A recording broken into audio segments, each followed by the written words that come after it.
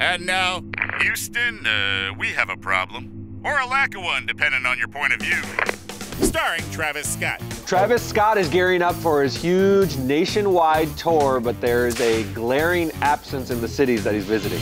I would guess Houston. And you would win a keychain. Yes, Houston, site of Travis's infamous Astroworld concert that left 10 people dead and hundreds injured. I mean, Houston is the fourth biggest city in the U.S. What's his hometown? And it's his hometown. Are there any Texas cities? There's Dallas and Austin, which are far enough away that you don't have many Houstonites Yeah. near them. It would actually be Houstonians. Houston, well, as Moving on. As you know, a grand jury in Houston decided not to indict Travis for his part in Astroworld, but playing there again from an optics viewpoint. With the pending lawsuits, there is no way. It's just going to stir up controversy. If there's a problem, it's going to be an absolute mess. Wait, wouldn't you say that for any of his shows, though? Uh, but in particularly Houston. all the attorneys for the people that are suing him, they would be speaking out saying, "Oh my gosh, like how could he come back?" and the tour is called Utopia. You can't go to the site of a Because tragedy the, that Utopia is the album that has been number one for four weeks. He's fine. not in Houston. Who here has looked at the Houston Billboard charts? Hold on, I can pull out Apple Music has by city. Let's find up, up, up, up, up. He has three of the biggest songs in Houston right now.